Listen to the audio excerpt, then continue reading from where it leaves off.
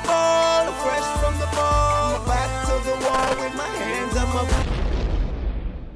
What's up, y'all? It's your boy, Urban Gear Man, and I'm back with another video. But today, we're gonna talk about the best chains to wear with your hoodie. The winter time is coming. You know what I mean? And you still want to look fly.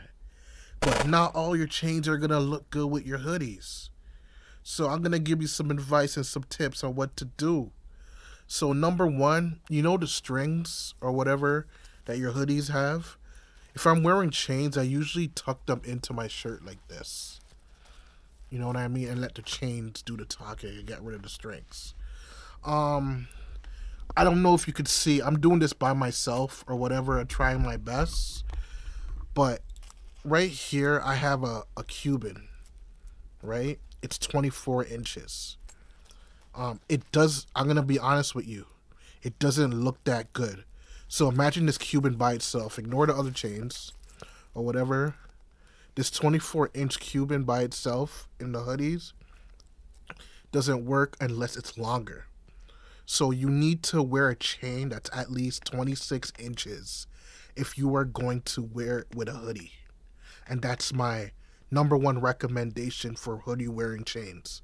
It doesn't matter what chain it is, as long as it's 26 inches long and longer, you'll do fine when wearing a hoodie. Um, so check this out. I got a rope chain right here. This is 30 inches.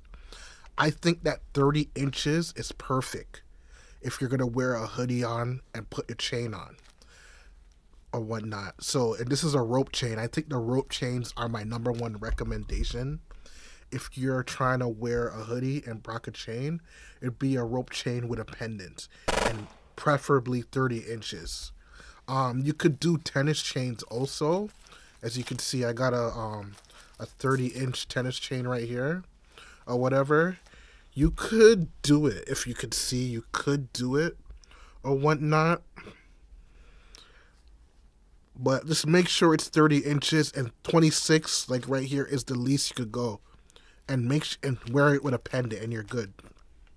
But when it comes to the Cubans, do not get a wide big Cuban like a baguette.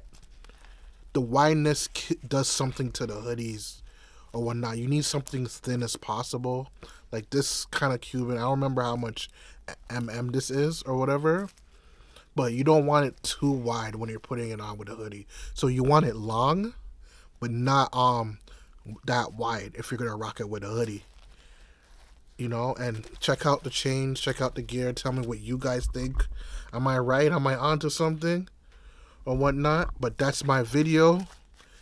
It's your boy, Urban Gear Man. Like and subscribe if you like the information. Go to the Get Fly store. The link is in the description.